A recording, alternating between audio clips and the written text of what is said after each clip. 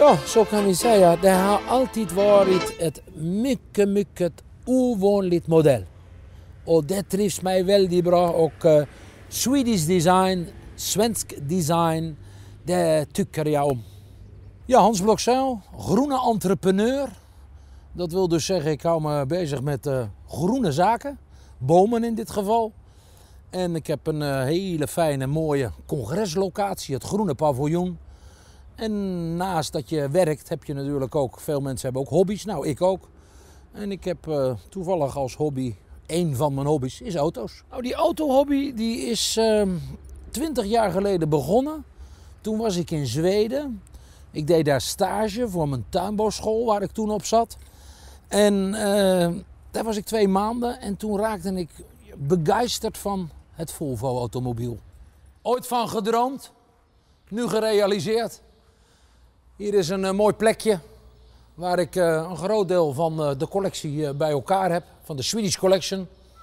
Mooie verzameling met bijzondere type Volvo.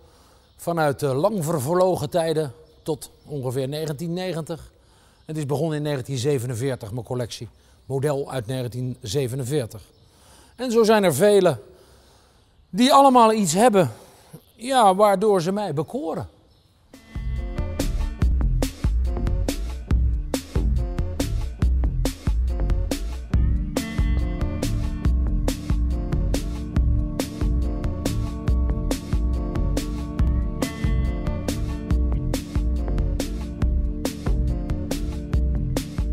Kennen natuurlijk Volvo vanwege zijn specifieke modellen.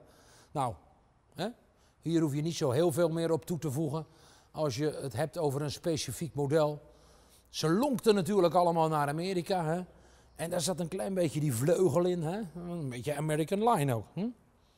Mooi op die banden, hè? De, witte, de witte zijvlakken. Een liefde voor Zweden is er natuurlijk. Want toen ik 18 was, ging ik voor twee maanden naar Zweden.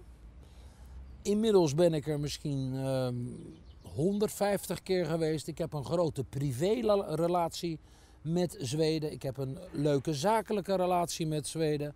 Ik hou van het land, ik hou van die mensen. Ik hou van de hele filosofie. Zweden hebben eh, heel veel producten die eigenlijk altijd perfect zijn.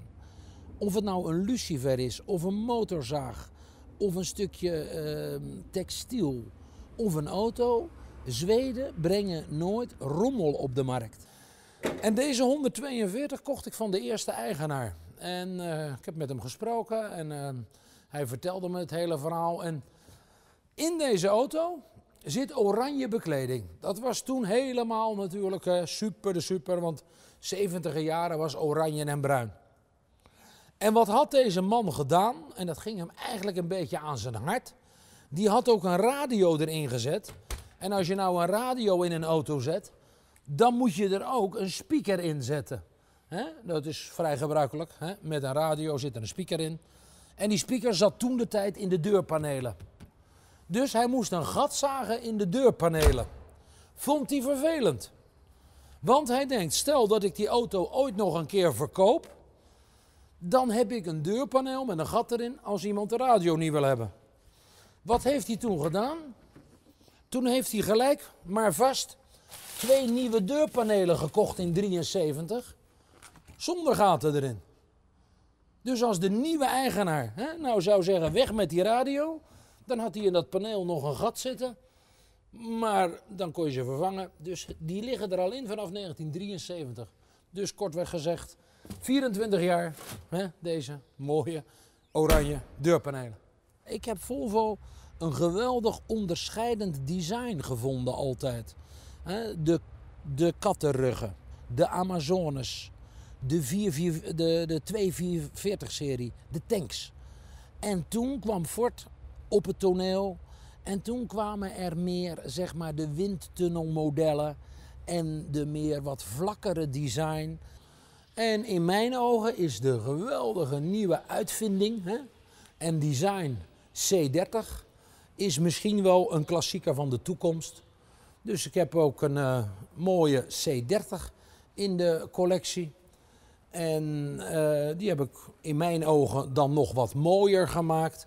Want eh, Volvo is niet zoals de Fransen of de Italianen van die enorme, zeg maar, color interieurs. Tenminste, nu niet. Hè? In de 70 jaren wel.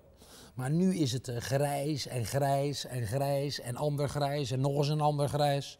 En een paar kleurtjes bruin en nog eens ander bruin. Maar niet die flits. Nou, en ik vind rood wel een mooie tint. Dus in deze auto hè, is een uh, zeer mooi, in mijn ogen, hè, Connelly leer, zacht leer, zwart en rood interieur gemaakt. En ik denk dat over tien jaar, hè, als wij hier weer gaan filmen, dat ik dan kan zeggen, hè, kijk eens, wat een mooie klassieker hè, over tien jaar. En die staat dan ook nog op 0 kilometer, want deze blijft op 0 kilometer staan.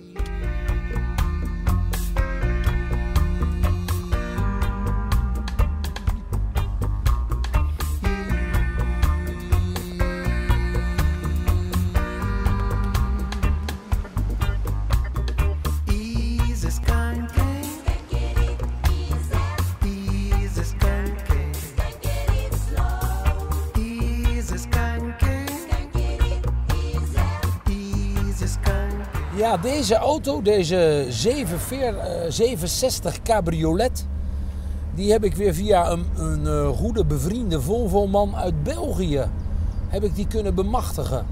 Is een auto, daarvan uh, zijn er maar twee gemaakt in 1984.